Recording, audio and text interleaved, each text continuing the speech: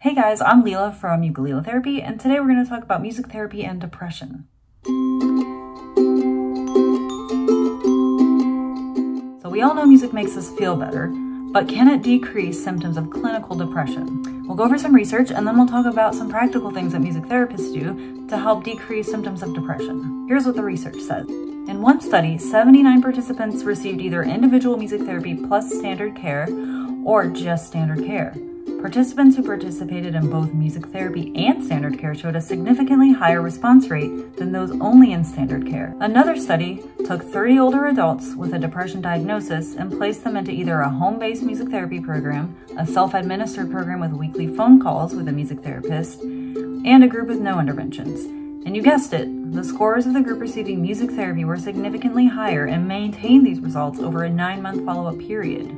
These are just two of many research studies showing how music therapy has been used to decrease depression. I put the links in the description if you want to read more into them. And I actually did my own little study when I interned at a behavioral hospital as a music therapist, where I asked the clients about their mood and thoughts and things before the group and then after the group. And there was a significant increase in mood. Not that this is an official study, um, but I just thought it was interesting. That was something that I kind of experienced on my own. So why and how does it work? So we see that music therapy can decrease symptoms of depression, and there might be a couple of reasons for this. So let's start by looking at some common symptoms of depression. Trouble with memory and concentration, fatigue, feelings of guilt, worthlessness, and helplessness, pessimism and hopelessness, a loss of interest in activities, physical discomfort, and feeling sad or empty.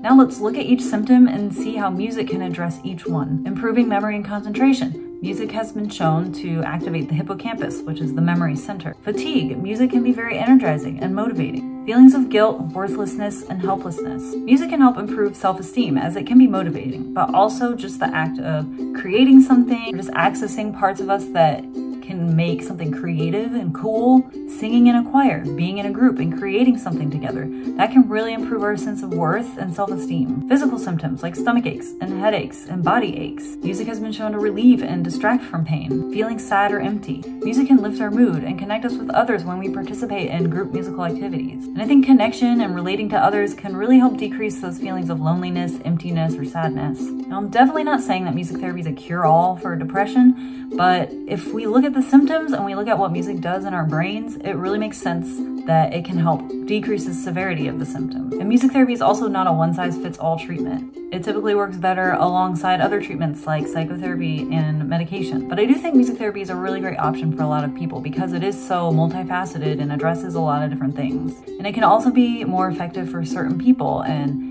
resonate more with certain people than others. If you think about it, when someone's depressed, they don't have a lot of energy. Nonetheless, talk about your depression or think about ways to help with depression that in itself can feel overwhelming and burdensome. But music can sort of be a gateway or a buffer in between the individual or the therapist or even the individual and their depression. And it can also make things a little easier to manage because it's more fun, it's more abstract, it accesses your heart and emotions, but also your mind. So there you have it, some reasons how music therapy can be helpful for depression. I hope this was helpful, and as always, please like and subscribe if you want to see more of my videos. I make them every week, and they're about music therapy, expressive arts, just therapy in general, self-development, all that good stuff. So I hope to see you soon. Thank you for watching.